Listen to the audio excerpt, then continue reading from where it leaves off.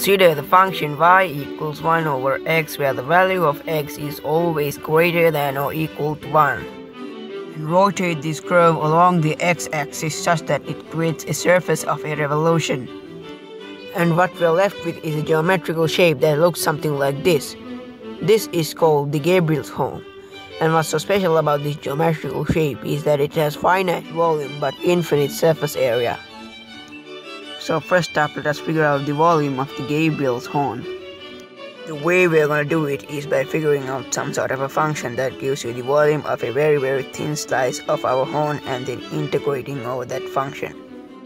And we're gonna assume that the thickness of that slice approaches zero. So as the thickness is very very small, it's almost a circular disc. And we know how to calculate the volume of a circular disc. That's simply equal to pi times the radius squared times the thickness. In our case, the radius is simply the function which is 1 over x and the thickness is a small change in x and let's call that dx. The volume of that thin disk is equal to pi times 1 over x all squared which is the same as 1 over x squared times the thickness which is dx. And now we have a function that gives you the volume of a thin slice of our horn and now we are going to integrate over that function to solve for the total volume. The integration limits are 1 and infinity. So let's simplify this integral. Pi is a constant so we can move that out of our integral and 1 over x squared is the same as x to the negative 2 and now we can apply the integral power rule to figure out this and when we simplify this we get that it's equal to pi. So how cool is that? The volume of this weird looking thing turns out to be pi. Alright, and now let's calculate the surface area of the Gabriel's horn. We're gonna use the same method that we used to calculate its volume, but this time we're gonna make slight difference. In the previous case, uh, we treated all slices as perfect circular discs but this time we can't do that. In the previous situation we ignored the slant of the slices but this time as we are calculating the surface area we can't ignore the slant of the slices. We have to account that. There's a specific reason for that but for now just think of it as a given.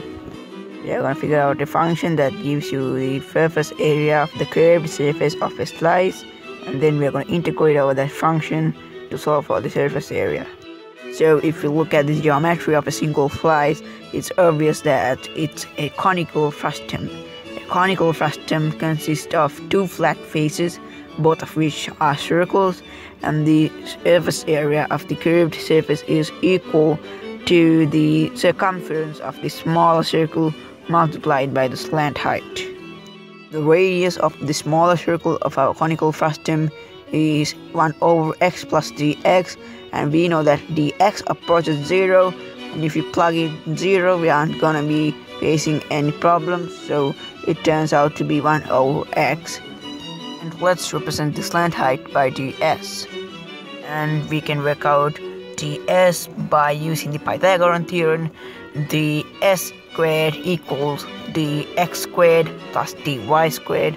We get the square root on both sides and we get ds equals the square root of the x squared plus dy squared. And we get that the surface area of the curved surface of a slice is equal to 1 over x times the square root of dx squared plus dy squared. Now we're going to factor out a dx term to integrate this function with respect to x and now we get 1 over x times the square root of 1 plus dy squared over dx squared. dy squared over dx squared is the same as dy by dx all squared. And we know what dy by dx is, it's simply the derivative of this function, which turns out to be minus 1 over x squared. And that all squared is 1 over x to the fourth, and we can replace 1 over x to the fourth with that. And now we are ready to integrate this function. So how do we figure out this integral? The thing is that we don't even need to do this integral as it diverges to infinity. So what's the reason for that? The reason for that of course is quite obvious. So if we integrate the function 1 over x with respect to x, we get infinity. And as the square root of 1 plus 1 over x to the fourth is always greater than 1, we can come to a conclusion that this integral diverges to infinity. Therefore, the surface area of the Gabriel horn is infinity. And the paradox behind the Gabriel horn is you can fill it up with pi units of paint, but you can never paint the surface of it as it has infinite surface area. But when you fill it up with pi units of paint, doesn't that paint the surface?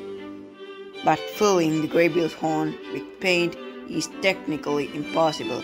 The reason for that is because the length of the Gabriel's horn is infinity and the paint that we put in to fill up Gabriel's horn will take forever to get to the bottom of the Gabriel's horn as it will have to cover an infinite distance to get to the bottom.